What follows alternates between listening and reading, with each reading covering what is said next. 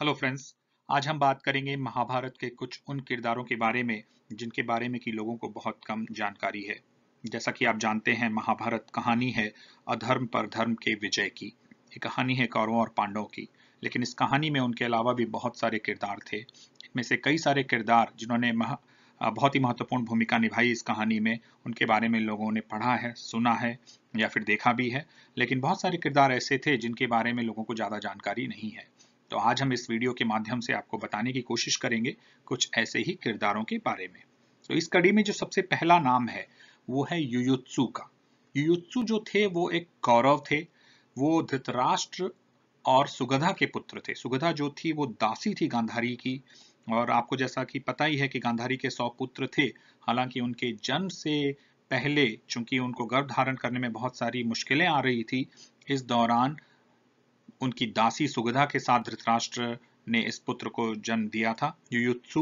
युयुत्सु के बारे में ये जानना बहुत ज़रूरी है कि जब महाभारत की लड़ाई शुरू हुई थी तो उस समय दोनों पक्षों को ये अवसर दिया गया था कि वो अगर चाहें तो अपना पक्ष बदल सकते हैं। और इस दौरान युयुत्सु ने ये डिसाइड किया था, निर्णय किया था कि वो पांडवों की तरफ़ से लड़ाई लड़ेंगे। और युयुत्सु उन गिने चुने योद्धाओं में से एक थे जो कि महाभारत की लड़ाई के बाद भी जीवित रहे। युयुत्सु की तुलना जो है रामायण के विभीषण से की जा सकती है जिन्होंने धर्म का साथ देते हुए अपने भाई के विरुद्ध जाकर ये युद्ध लड़ा था। और कहते हैं कि महाभारत की लड़ाई में युयुत्सु ने बहुत सारी ऐसे सिक्रेट्स भेद पांडवों को बताए थे कौरवों के बारे में, जिससे कि उन्हें उन्हें कौरवों पर विजय मिली थी। युद्ध के बाद जो दूसरी ऐसी किरदार हैं जिनके बारे में लोगों को बहुत कम पता है, वो है विकर्ण। विकर्ण जो थे, सौ कौरव में से एक थे। कई लोगों का कहना है कि ये जो थे, वो थर्ड कौरव ब्रदर्स में से थे। हालाँकि बाकी कहानियों में इन्हें one of the hundred brothers बताया गया है। विकर्ण के बारे में ये बताना बहुत ज़रूरी होगा कि जब द्रौपदी का चीरहरण हो रहा था तो शायद वो एकमात्र ऐसे कौरव थे जिसने इसकी निंदा की थी। उन्होंने बहुत आर्ग्यूमेंट भी किया था दुर्योधन के साथ कि ये चीरहरण क्यों नहीं होना चाहिए था। और उनका एक इस इस दौरान जो उन्होंने बातें कही थी, उनमें से एक बात बहुत इंटरेस्टिंग है। उन्होंने ये कहा था कि चूँकि द्रौपदी पाँचों पांडवों की पत्नी है, इसलिए सिर्फ़ और सिर्फ़ युधिष्ठिर उन्हें दांव पर नहीं लगा सकते। इस हिसाब से देखा जाए तो युधिष्ठिर को कोई अधिकार ही नहीं था कि वो अकेले ये निर्णय लें कि द्रौपदी को द्वंद्व युद्ध में वो दांव पर लगाएँ। और इस हिसाब से देखा जाए तो जो युधिष्ठिर ने किया था वो गलत था और उन्हें कोई हक ही नहीं था कि वो द्रौपदी को दांव पे लगाएँ। हालाँकि विकर्ण ने जब ये लॉजिक रखा था, तब कर्ण ने उन्हें चुप करा दिया था और वो कुछ नहीं कर पाए थे। और जब महाभारत की लड़ाई हुई तो उन्होंने दुर्योधन का ही पक्ष लिया। उन्होंने दुर्योधन के पक्ष में ही ये युद्ध लड़ा था। हालाँकि वो धर्म के साथ थे, लेकिन वो किसी कारण से अपने भाई के भाई से अलग होकर नहीं जा पाए। कई मामलों में देखा जाए तो विकर्ण की तुलना हम रामायण में कुंभकर्ण से कर सकते हैं, जिन्हें पता था कि उनका भाई जो है वो अधर्म के साथ है, लेकिन अंत में उन्होंने अपने भाई का ही साथ दिया युद्ध के दौरान। चौदहवें दिन युद्ध के, महाभारत की लड़ाई जो अठारह दिनों की लड़ाई थी, उसमें चौदहवें दिन विकर्ण की मृत्यु हुई थी भीम के हाथों और कहा जाता है कि भीम भी रो पड़े थे उनकी मौत पर क्योंकि भीम जानते थे कि विकर्ण उन गिने चुने कौरों में से एक हैं जो धर्म को समझते हैं और धर्म के साथ हैं। हालाँकि उनकी कुछ व्यवस्थाएँ थी जिसके चलते उन्होंने दुर्योधन के पक्ष में ये युद्ध लड़ा। तीसरे जो किरदार हैं जिनके बारे में हम अभी बात करेंगे वो हैं सत्यकी सत्यकी जो थे, वो कृष्ण की नारायणी सेना के सदस्य थे। अब चूँकि महाभारत के युद्ध में कृष्ण की नारायणी सेना जो थी, वो कौरवों की तरफ़ से लड़ी थी। हालाँकि सत्यकी जो थे, वो पांडवों की तरफ़ से उन्होंने युद्ध लड़ा था। सत्यकी बहुत बड़े योद्धा माने जाते थे और ये अर्जुन के मित्र और शिष्य भी थे और इनकी भूमिका बहुत बड़ी थी महाभारत की लड़ाई में। इन्होंने कहते हैं कि गुरु द्रोण का धनुष 108 बार तोड़ा था युद्ध के दौरान। और सत्यकी उन गिने चुने योद्धाओं में से एक थे जो कि महाभारत की लड़ाई के बाद भी जीवित थे।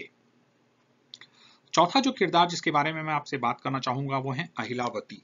अब अहिलावती की कोई डायरेक्ट भूमिका नहीं थी महाभारत की लड़ाई में। ये ये पत्नी थी घटोत्कच की। घटोत्कच आपकी जानकारी के लिए बता दूँ कि भीम और हिडम्बा के पुत्र थे और उनकी पत्नी थी अहिलावती।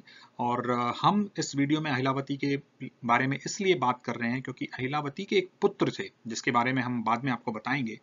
और अहिलावती ने अपने पुत्र से युद्ध में जाने से पहले ये वचन लिया था कि उनका पुत्र जो है अहिलावती चूँकि घटोत्कच की पत्नी थी तो कायदे से उनके पुत्र को पांडवों की तरफ़ से लड़ना चाहिए था। लेकिन अहिलावती ने अपने पुत्र से यह वचन लिया था कि उसका पुत्र कमज़ोर पक्ष की तरफ़ से लड़ेगा। और ये कहानी क्या थी, ये हम आपको बाद में बताएँगे जब हम अपने अगले किरदार के बारे में चर्चा करेंगे। लेकिन इसी वचन के चलते महाभारत के युद्ध में, युद्ध के परिणाम पर असर पड़ सकता था। देखते हैं कि वो पांचवा किरदार कौन था और अहिलावती के वचन से क्या असर पड़ सकता था महाभारत के युद्ध पर। पांचवा जो किरदार है, वो है बारबरिक, जो अहिलावती और घटोत्कच का पुत्र था, यानी कि भीम का पौत्र था। बारबरिक कहते हैं कि बहुत बड़े योद्धा थे और उनके पास तीन विशेष वाण हुआ करते थे। उन तीनों वाणों से वो पहले वाण से अपने टारगेट को वो आइडेंटिफाई करते थे, दूसरे वाण से वो उन टारगेट्स को आइडेंटिफाई करते थे जिनको उन्हें नहीं भेजना है, और तीसरे बाण से वो उन सभी टारगेट्स को नष्ट कर देते थे। आ, कहते हैं कि आ, भगवान कृष्ण युद्ध से पहले जब सभी योद्धाओं से मिल रहे थे और उनकी राय पूछ रहे थे कि आपके हिसाब से युद्ध कितने दिन चलेगा तो अर्जुन ने कहा था 20 दिन द्रोणाचार्य जी ने कहा था 25 दिन। बारबरिक से जब उन्होंने ये पूछा था तो बारबरिक ने कहा था कि युद्ध सिर्फ़ एक मिनट में खत्म हो जाएगा।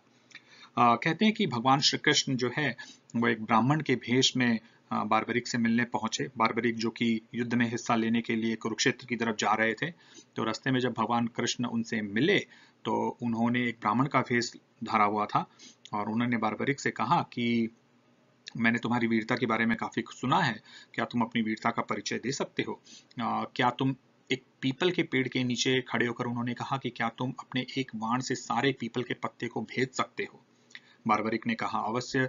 ब्राह्मण देव, मैं ये कर सकता हूँ। और बारबरिक ने निशाना साधा, अपनी आँखें बंद की। उस समय कहते हैं कि भगवान श्री कृष्ण ने चुपके से एक पीपल का पत्ता अपने पैर के नीचे रख लिया था। और बारबरिक ने जब अपना पहला बाण चलाया अपने टारगेट्स को आइडेंटिफाई करने के लिए तो वो बाण पीपल के पेड़ के सारे पत्तों को आइडेंटिफाई करते हुए भगवान कृष्ण के पैर को चीरता हुआ उस पत्ते तक भी गया, जो पत्ता उन्होंने अपने पैर के नीचे दबाया हुआ था। और इस तरह से भगवान कृष्ण समझ गए कि ये योद्धा अगर कौरवों की तरफ़ चला गया तो ये पांडवों को नहीं छोड़ेगा। और भगवान कृष्ण अगर पांडवों को कहीं छिपा भी दें तो भी ये योद्धा उन्हें समाप्त कर देगा। फिर उन्होंने बारबरिक से पूछा कि तुम किस तरफ़ से युद्ध लड़ोगे? तो बारबरिक ने कहा कि मेरी माता ने मुझे कहा है कि मैं कमज़ोर पक्ष की तरफ़ से लड़ूं। और मुझे लगता है कि कमज़ोर पक्ष जो है, वो पांडवों का है, क्योंकि नारायणी सेना जो है, कौरवों के पास है। भगवान कृष्ण ने उस समय बारबरिक को समझाया कि शायद तुमने बिना सोचे समझे ये वचन अपनी माता को दिया है, क्योंकि तुम जिस भी तरह जाओगे, दूसरा पक्ष कमज़ोर पड़ जाएगा। और इस हिसाब से देखा जाए तो तुम पूरे युद्ध में एक दूसरे पक्ष के एक से दूसरे पक्ष में जाते रहोगे और इस तरह से तुम दोनों पक्ष की सारी सेनाओं का नाश कर दोगे और अंत में सिर्फ़ तुम ही एक ऐसे योद्धा होगे जो युद्ध के अंत में बचोगे। और बारबरिक को समझ में आया कि जो वचन उन्होंने अपनी माता को दिया शायद वो बिना सोचे समझे दिया था। हालाँकि उस समय फिर ब्राह्मण भेष में कृष्ण जी ने बारबरिक से कहा कि, वीर, मैं तुमसे कुछ दान मांगना चाहता हूँ, क्या तुम मुझे वो दान दोगे?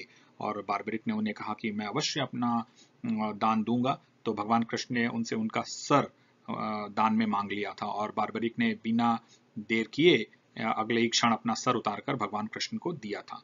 आ, कहते हैं कि भगवान कृष्ण इससे काफ़ी प्रभावित हुए थे और उन्होंने बारबरिक को वरदान दिया था कि तुम आगे चलकर मेरे ही नाम से जाने जाओगे और उन्होंने अपना नाम बारबरिक को दिया था। बारबरिक इसके बाद श्याम के नाम से प्रचलित हुए थे।